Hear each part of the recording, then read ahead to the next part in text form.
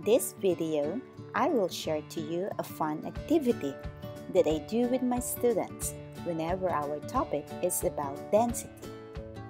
Each student will have a clay. Then, I will ask them if a clay will float or sink in water. Everyone will say that a clay will sink in water.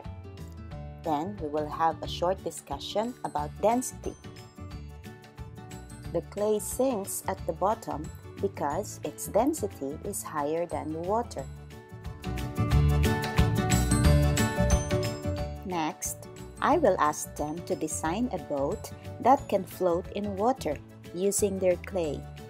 Each student can come forward to test whether their boats will float or sink.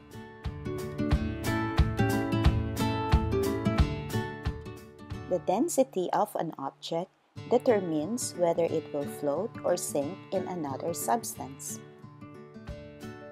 This time, the clay boat floats because its density is less than the surrounding water.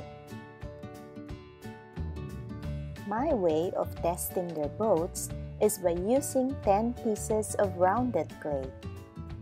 If the boat can carry 10 pieces of loads, that is 10 points.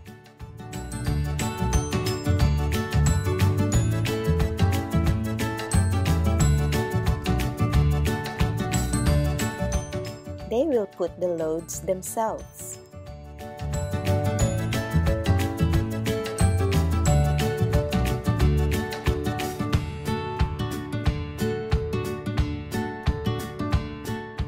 Oops!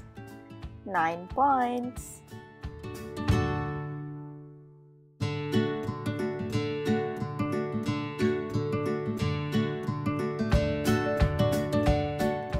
Kids love this activity. They keep trying their best to create a boat that will not sink easily.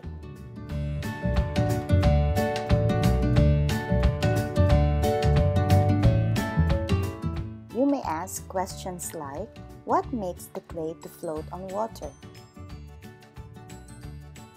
Does changing the volume of the clay affect its buoyancy?